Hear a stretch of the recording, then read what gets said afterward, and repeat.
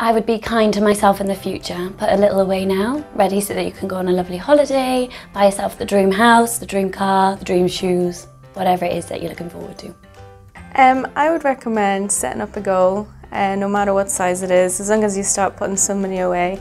So when you need something, um, you'll have it saved. Um, also, I think it's quite good to save your money in a different account so it's separated from your spending money so you can't really see it um, and then when you need it it's there.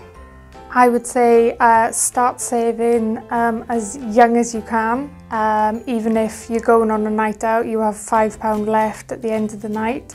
Put that money safe somewhere, build it up and then maybe put it in a bank account or an investment. Um, spare change at the end of the week, just build it up, keep building small and then you'll be surprised how much it grows.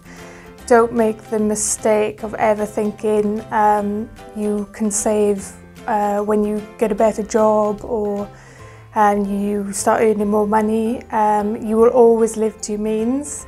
So start small with small habits and get yourself into a good routine of saving.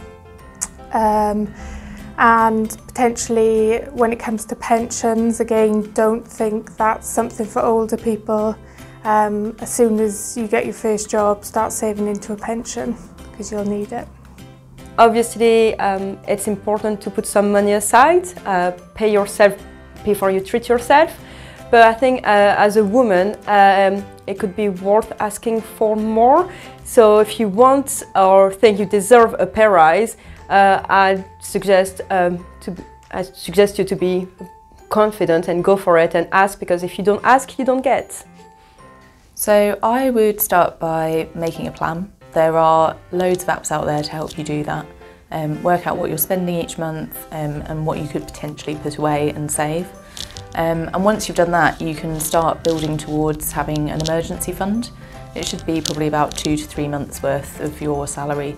Um, and that's just if anything happens or if you need to pay for something, you know, like your car breaks down or you need to pay for a new boiler to be fixed. Um, then you've got a fund there ready to do that. Um, and anything over that is a bonus which you can start to put towards other goals that you have or towards investing.